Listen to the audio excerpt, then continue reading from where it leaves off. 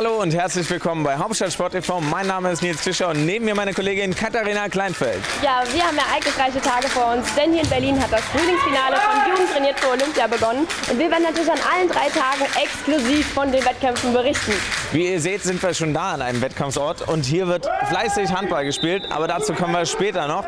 Weiterhin in unserer Sendung heute Badminton und Goalball. Genau, aber bevor die Wettkämpfe natürlich starten konnten, mussten erstmal alle Teilnehmer und Teilnehmerinnen hier ankommen.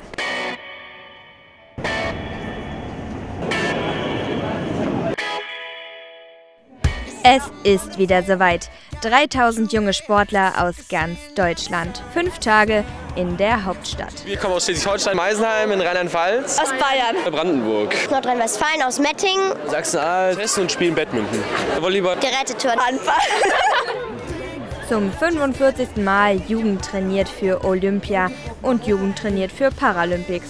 Das Frühjahrsfinale und alle sind froh, endlich da zu sein. Berlin, Berlin, wir fahren nach Berlin, das ist das Motto für uns und äh, sind froh in der Hauptstadt zu sein. Ich hoffe, dass es faire Spiele sind, aber vor allen Dingen, dass die Jungs auch Spaß haben. Wir werden auf jeden Fall unter den ersten drei kommen.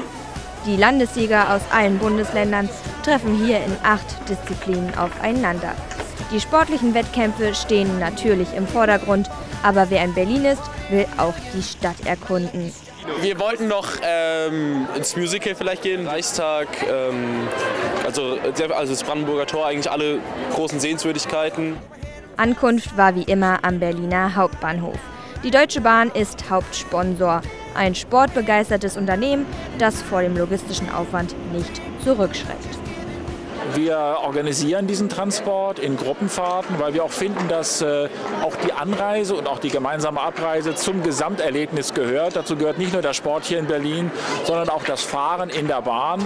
Unter den 166 Teilnehmern für Jugend trainiert für Paralympics können auch die Rollstuhlfahrer bequem anreisen. Der Hauptbahnhof ist gerüstet und bietet die Kapazitäten. Und es gibt einen Mobilitätsservice, der rund um das Jahr zur Verfügung steht, wo sich mobilitätseingeschränkte Reisende rechtzeitig äh, melden können. Ihnen wird dann an allen Bahnhöfen in Deutschland geholfen. Lena und Lennart spielen Rollstuhlbasketball. Jetzt wird die Zeit aber erstmal für Sightseeing genutzt. Morgen geht's dann los mit den Wettkämpfen. Die Erich-Kästner-Schule aus Hessen ist bereits zum fünften Mal dabei. Das ist halt nochmal eine Herausforderung im Gegensatz zum Hessenentscheid.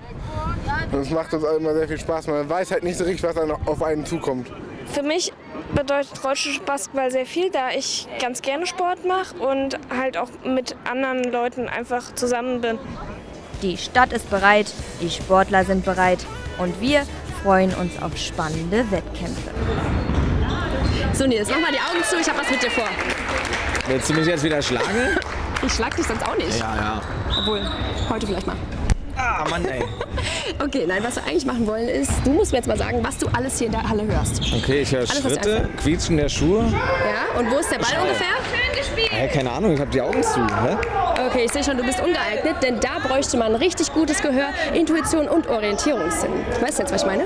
Ich glaube, und zwar Goalball, oder? Ah, na endlich. Das ist ein ganz besonderer Sport, der dieses Jahr ist ja das erste Mal dabei. Richtig, genau. Letztes Jahr war er nämlich als Demonstrationswettbewerb dabei und dieses Jahr richtig im Wettkampf integriert.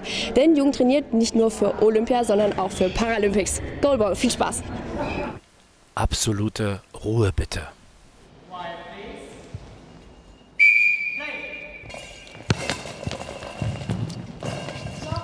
Totenstille in der Halle, eigentlich Gift für jede Sportart, beim Goalball aber zwingend notwendig. Wir haben einen Ball, der ist 1,25 Kilo schwer, ist aus Hartgummi und hat so innen drin kleine Glöckchen, sodass man den akustisch wahrnehmen kann, theoretisch. Und ähm, ja, wir versuchen dann im Grunde genommen mit, den, mit unseren drei Spielern, die alle eine Dunkelbrille tragen, so dass man während des Spiels nichts sehen kann, drüben auf der anderen Seite ein äh, Tor zu erzielen. Und dabei müssen wir den Ball relativ bodennah immer ähm, werfen, so dass man den akustisch wahrnehmen kann. Und ähm, ja, wir sind Angreifer, sobald wir den Ball werfen und müssen aber auch gleichzeitig unser 9 Meter breites Tor verteidigen, was bei drei Leuten, die nicht sehen, immer nicht, also nicht unbedingt ganz einfach ist. Goalball erscheint auf den ersten Blick kinderleicht. Den Gegenbeweis hat kein geringerer als Stefan Raab erbracht. So, der vielleicht jetzt, der vielleicht jetzt. Ja, da ist er. Na bitte. Da war jetzt mal ein bisschen Tempo drin. 1 zu 3 aus Sicht von Caroline. Tor. Hälfte ist rum für beide. Caro. Die Hälfte der Versuche. Wie er schön hinter die Öhrchen packt. Ja, man guckt natürlich immer aus der Goalballer-Perspektive, aus der Spielerperspektive. Und ähm, war natürlich witzig. Also es war natürlich auch nochmal abgewandelt. Das Feld war kleiner, ähm, alles und ähm, hatten auch mehr Zeit zum Werfen. Ähm, waren schon abgewandelte Regeln. Aber ähm, klar sieht es natürlich erstmal witzig aus, ne? weil das, da haben sie sich äh, natürlich nicht mit Ruhm bekleckert. Und äh, wenn sie sich da über den Boden so lang krabbeln, ist das schon erstmal amüsant. Goalball erzeugt Spaß, vor allem durch die Gemeinschaft unter dem Motto drei Freunde müsst ihr sein. Man braucht ein Team, was einem auch gut zuhört, weil man ja blind ist. Das heißt, es ist ja die Gleichberechtigung. Es kommt mir so egoistisch vor, als wenn man den Sieg nur für sich haben möchte. Und wenn man das in der Mannschaft hat, ist das viel schöner. Es ist äh, einfach, dieser Zusammenhalt ist angenehm. Ohne sie würde ich das gar nicht richtig können. Sie sind, ich kann mich auf sie verlassen, sie sind für mich da, sie helfen mir. Also sie sind mir sehr wichtig. Also ich vertraue meinem Team blind, sozusagen. Also, ja. Blindes Vertrauen trotz absoluter Ruhe. Oder gerade deswegen. So, wir haben uns jetzt mal unter die Teilnehmer gewischt. Äh, wer bist du? Lea. Und wo kommt ihr her? Äh, aus Nordrhein-Westfalen. Wir sind auf dem Gymnasium in Kempen. Alles klar. Und äh, wie hat euch das Turnier bisher so gefallen? Also wir haben bis jetzt ein Spiel gewonnen, auf jeden Fall. Also bis jetzt gut. Habt ihr euch was Besonderes vorgenommen oder? Halt die Spiele weiterhin so zu spielen wie das erste. Okay. Ja, hier oben sitzt die Dana neben mir. Dana, was habt ihr denn bisher von Berlin schon gesehen? Ihr seid ja gestern erst angekommen. War da überhaupt schon Zeit? Ja, da äh, war schon Zeit. Wir haben schon eine Bootstour gemacht und äh, den Reichstag haben wir auch schon gesehen und das äh, Brandenburger Tor haben wir uns auch schon angeguckt. Okay, und was habt ihr euch noch vorgenommen? Ihr seid ja noch ein paar Tage hier. Ja, äh, wir wollten auf jeden Fall noch eine Shoppingtour machen und auch ähm, äh, in ein Musical gehen. Äh, hinterm Horizont, da wollten wir, das wollten wir uns auch noch angucken. Oh, schön. Na, dann wünschen wir euch da mal ganz viel Spaß dann dabei. Und wir schauen uns jetzt einfach mal an, was am ersten Wettkampftag beim Handball so los war. Fairness, Teamgeist, Einsatzfreude, Grundpfeiler von Jugend trainiert für Olympia und Jugend trainiert für Paralympics. Jährlich findet das weltgrößte Schulturnier unter der Schirmherrschaft des Bundespräsidenten statt und ist das perfekte Sprungbrett vom Schulsport zum ganz großen Traum. Ja, klar denkt man da schon mal drüber nach, äh, wie toll das sein könnte, wirklich in so großen äh, Handballhallen zu stehen und dann vor großem Publikum zu spielen. Aber ähm, ja, das ist noch lange hin bis da und ich denke, äh, das hier ist schon mal ein guter Anfang. Am ersten Tag ging es bereits hoch her, 16 Bundesländer aufgeteilt in vier Gruppen. Die ersten beiden jeder Gruppe treffen dann in einer Zwischenrunde aufeinander und machen die letzten vier unter sich aus. Organisatorisch eine Meisterleistung. Also die Organisation ist super, ähm, sehr, sehr gut vorbereitet. Ähm, der Empfang klappt sehr gut, die Unterkünfte sind sehr gut. Die Organisation, wie man von A nach B kommt, ist alles vorbereitet. Man muss sich eigentlich um wenig kümmern. Das Turnier natürlich für Mädchen und Jungen ein Wahnsinns-Event, doch neben dem Sport bietet Jugend trainiert für Olympia und Jugend trainiert für Paralympics mit der Hauptstadt Berlin einen weiteren Höhepunkt und manch witzige Geschichte.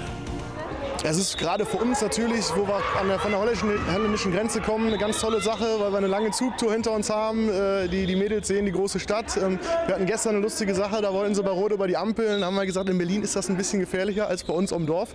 Und ähm, deswegen ist das eine unheimlich große Erfahrung, eine tolle Erfahrung, die die da machen.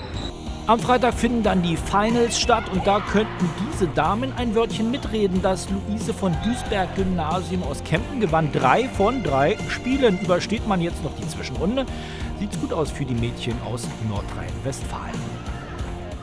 Wir wollen schon jetzt nicht ähm, nur jetzt von der Gruppe der Erste bleiben und dann in den nächsten Spielen jetzt alles verlieren. Also wir geben schon weiterhin unser Bestes und mal sehen, wie weit wir kommen. Wer es am Ende macht, wer die Titel holt, seht ihr natürlich bei uns und auf der unten eingeblendeten Adresse.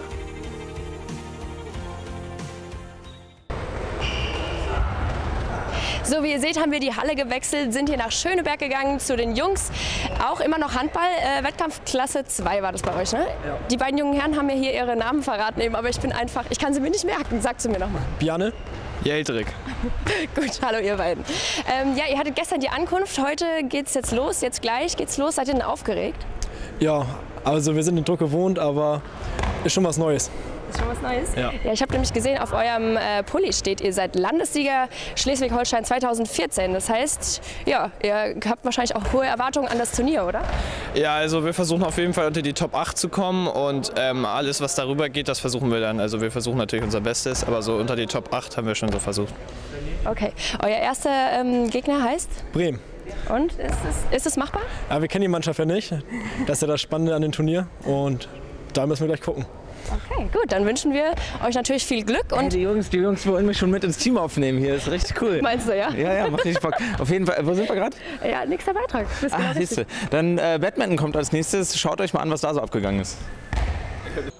Die Jugend trainiert für Olympia Badminton. Auch hier natürlich wieder ein kunterbunter Mix aus ganz Deutschland. Von der Bertolt Brecht Schule in Nürnberg.